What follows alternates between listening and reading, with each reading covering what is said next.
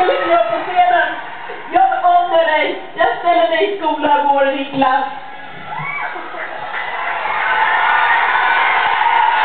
För mig är eh, det...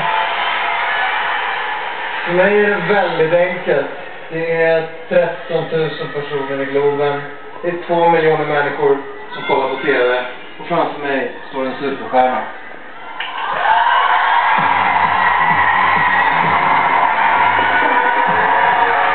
Amanda har erövrat juryn med sin andra låt. Jag vill veta vad som hände när du började småle när du låg där framme efter ordningen. Vad tänkte du på då?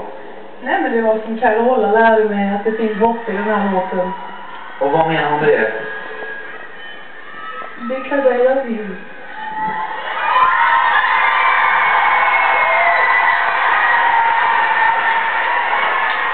Du, eh, jag är lite nyfiken om du snurrar runt ett varv och visar baksidan.